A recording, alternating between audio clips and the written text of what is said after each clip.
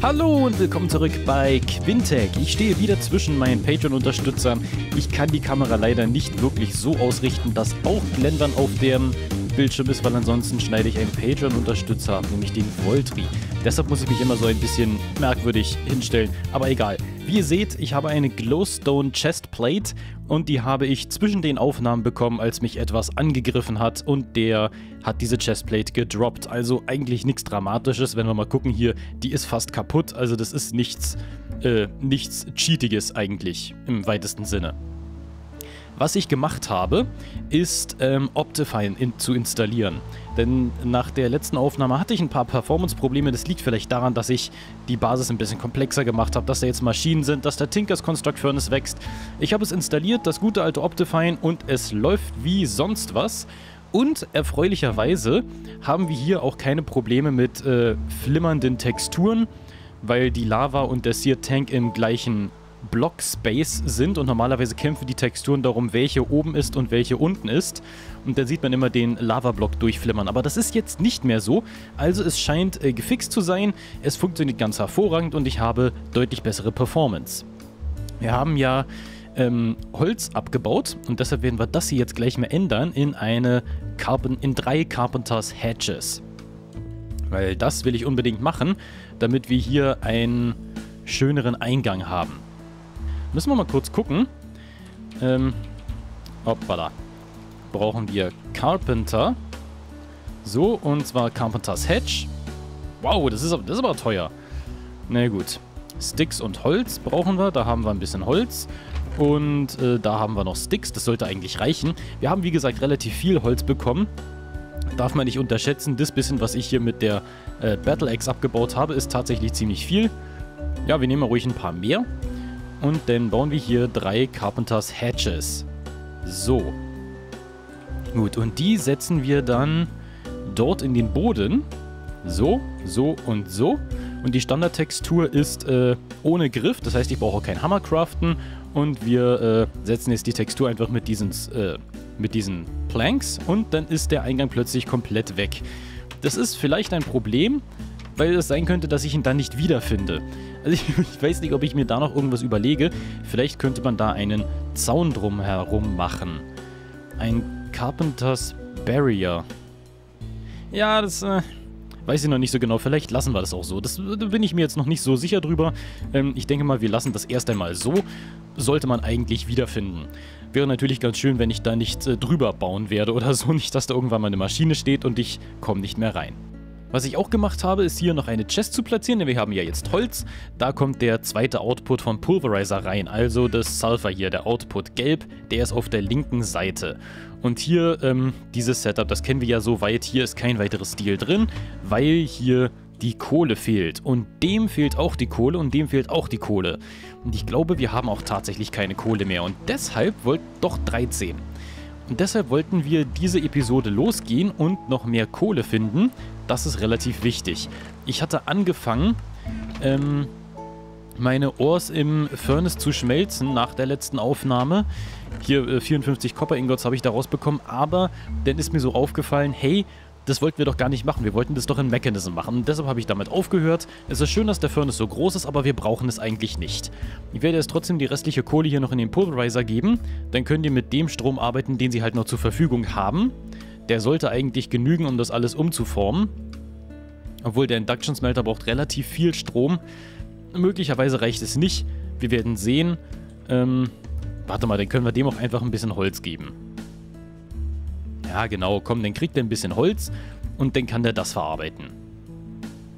Na, der bekommt keinen Strom. Der bekommt auch keinen Strom, aber es sollte sich aufbauen, wenn sie Strom benötigen. Also das lassen wir einfach mal machen. Und hier kommt doch schon wieder Stil an, das ist ganz wunderbar. Und weil jetzt wie so oft Nacht ist, werden wir jetzt einfach mal schlafen gehen. Ist ganz gut, dass es, wenn es regnet, wenigstens Nacht ist, dass wir das überspringen können. Aber dann können wir danach Moment, Moment, Moment, Moment. Vielleicht bekommen wir jetzt genug Stil, um einen Hammer zu bauen und gehen erst dann los. Wir haben hier sieben, okay, es ist unwahrscheinlich. Da haben wir vier. Der äh, wird nicht mehr viel weiter arbeiten. Nee. Okay, es reicht nicht für einen Hammer, also brauchen wir hier uns eigentlich gar nicht länger aufzuhalten. Wir könnten natürlich schon, hm, schon die anderen Pattern herstellen. Natürlich ist es richtig, was ihr gesagt habt. Man kann äh, Pattern und Cast in die gleiche Kiste reintun. Ich kann erst spät auf Kommentare antworten. Ich nehme hier auf einen Tag, nachdem ich die letzte Session aufgenommen habe. Kann man tun, aber dann wird die Chest recht voll. Also, es kann gut sein, dass ich manche Sachen falsch erkläre, aber ich halte an diesen Erklärungen dann fest, weil sie für mich einfach funktionieren. Das ist so ein bisschen der Grund. Und bitte, wenn ihr ewig lange Kommentare schreibt und auf fünf verschiedene Sachen eingeht, dann ist die Wahrscheinlichkeit, dass ich darauf antworte, ziemlich gering.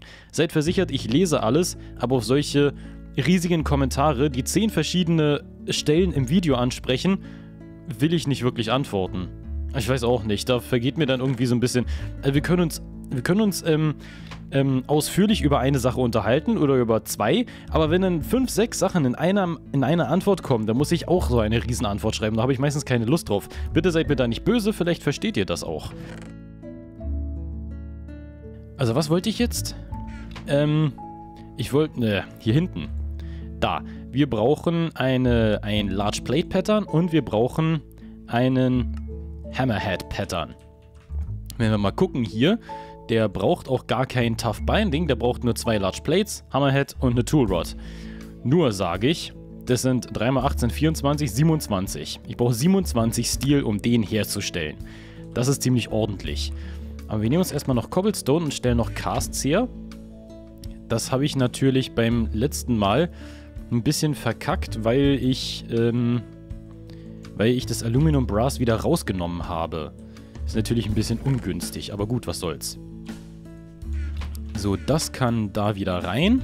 Das tun wir hier zurück und dann holen wir uns hier irgendwo unser Aluminum Brass wieder. Sollte ich eigentlich noch was von haben? Ein einziges? Ähm, oh ja, doch. Okay, nicht mehr als ein einziges. Dann nehmen wir halt... Wo haben wir es denn? Da ein bisschen Aluminium. Ja, vielleicht ein bisschen weniger. Ein bisschen Aluminium und ähm, vielleicht noch weniger. Und ein wenig Copper. Ich weiß nicht, ob das Mischungsverhältnis 1 zu 1 ist. Ich habe keine Ahnung. Und ehrlich gesagt ist es mir auch egal. Ich muss das nicht auswendig wissen. Das war auch ein Kommentar.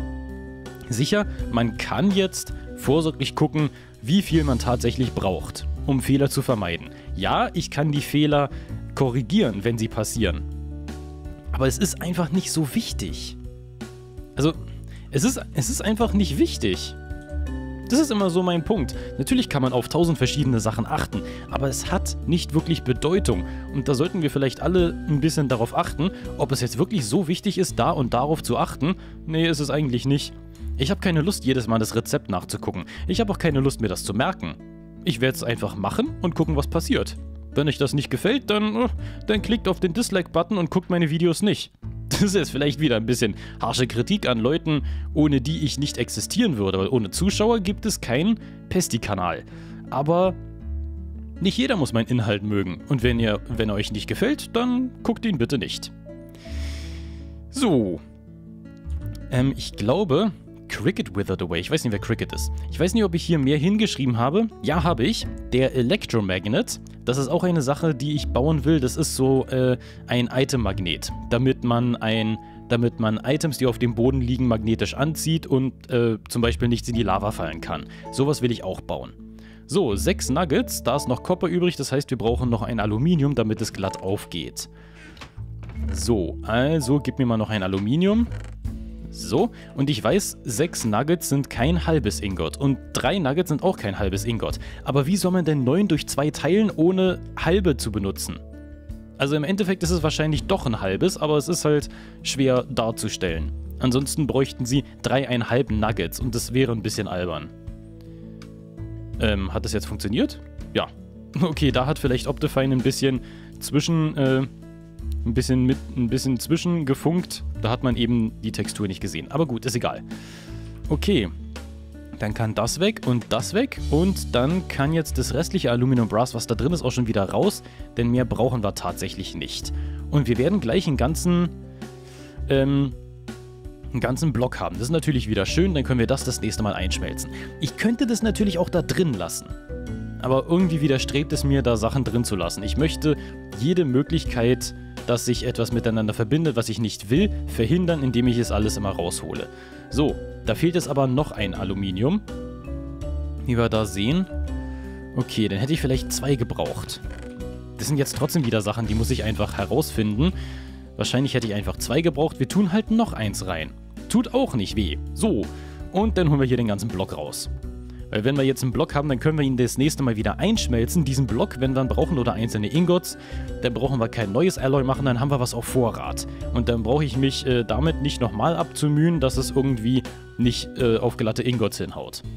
Natürlich kann man auch einzelne Nuggets rausholen, aber das ist mir dann zu doof. Weil die werde ich werde einzelne Nuggets nie einschmelzen. Ich will schon ganze Ingots einschmelzen und dafür muss ich hier auch auf ganze Ingots kommen. So, Gucken wir mal, da haben wir jetzt eins und dann haben wir noch eins. Und das letzte war irgendwie wieder ein, ein Drei Neuntel oder so.